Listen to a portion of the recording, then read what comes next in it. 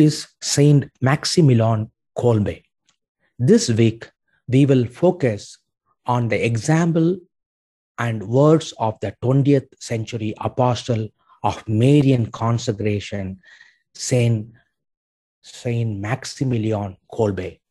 Kolbe knew well de Montfort's uh, Marian teaching and spoke enthusiastically about it. In formulating his own expression of true devotion to Mary, he not only deepened several aspects of de Montfort's insights, but added many new ideas from his own contemplation of the mystery of Mary. Before we turn to his Marian teaching, let us first get to know the man, Maximilian Kolbe.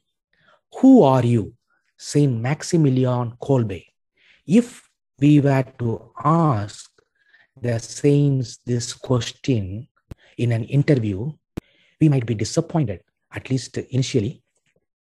With the gentleness and humility, he would probably reply, Now that question is not so important. What is really important is this one Who are you, O Immaculate Conception? Immaculate Conception.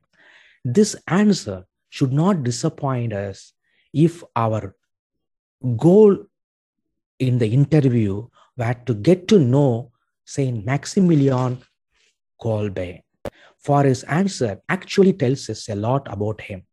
In fact, the great passion of him, uh, the passion of his life was to come to know the mystery of Mary, particularly as she revealed herself to Saint Bernadette of Lourdes. I am the Immaculate Conception. Why did she call herself the Immaculate Conception? Is not her name Mary? Tomorrow we will begin. Uh, we will begin to reflect on this intriguing mystery. Today, let us see what in our hypothetical interview Kolbe uh, would not have answered. Who is Saint Maximilian Kolbe? He is known by many titles Martyr of Charity, uh, Saint of uh, Auschwitz, founder of the Militia, Militia Immaculata, Apostle of Mary, and patron saint of the 20th century. But before all this, he was just Raymond. Raymond Kolbe, who is in 1894 was born into a poor Polish farming family. And from that beginning, one would not have guessed he would eventually be a great saint. In fact, one day his mother was so frustrated with his behavior and she yelled at him in exasperation Raymond, what will become of you? This shook the boy to the core. Fixed with grief, he immediately turned to the Mother of God, asking her, What will become of me? Then he went to the church and uh, re- repeated his question. The future saint recounted what happened next. Then the Virgin Mother appeared to me, holding in her hands two crowns, one white, one red. She looked at me with love and she asked me if I would like to have both of them. The white meant that I would uh, remain pure, and red that I would be a martyr. I answered yes. I wanted them. Then the Virgin looked at me tenderly and disappeared. The white crown of purity came first. Raymond confirmed himself uh, in it when a brother Maximilian he professed, professed uh, religious uh, vows, one of which uh, was charity, but his purity was not just of the body, for there is another kind of purity, purity of intention.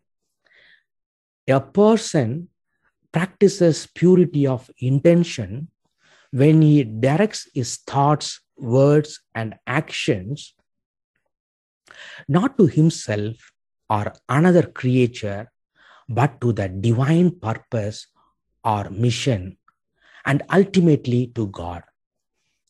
Perhaps because of this uh, his natural intensity and passion, Kolbe felt a particularly strong desire to give himself to a specific mission or goal. One of his classmates in the minor seminary uh, relates, he often said that he desired to consecrate his entire life to this great idea, called by his great idea. Eventually, crystallized into what he called the Militia Immaculata, which he started in 1917 with the six of his fellow uh, seminarians in the MI.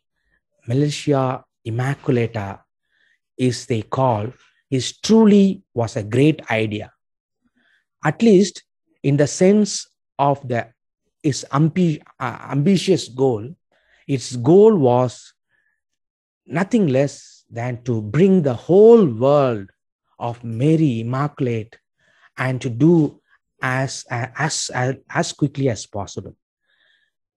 He would like to bring the whole world to God through Christ under the general generalship of Mary Immaculata and to do as quickly as possible. Fulfilling this mission through obedience to God's will in union with Mary Immaculate was Kolbe's entire concern, his pure intention, and he sacrificed everything for its accomplishment, which brings us to the Red Crown.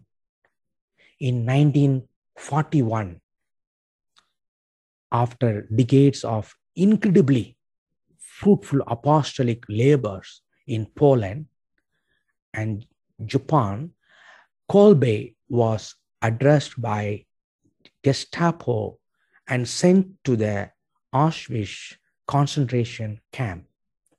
Before his arrest, his brother Franciscans had pleaded with him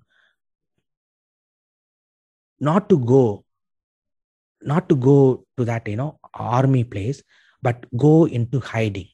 He said he was grateful for their loving hearts but could not follow their advice. Later he explained why. I have a mission. In the immaculata has a mission to fulfill. That mission was accomplished on the eve of the feast of mary's assumption into heaven. When, after having volunteered to take the place of a prisoner condoned to starvation, in the impatient Nazi, Nazis uh, finished Kolbe off with a lethal injection. Thus, Saint Maximilian died a martyr of charity and received his second crown from his Immaculata. Let us pray. Come, Holy Spirit, living in Mary, make me pure in body and spirit, and help me to do, help me to die to myself. Amen. In the Father and the Son and the Holy Spirit. Amen. Música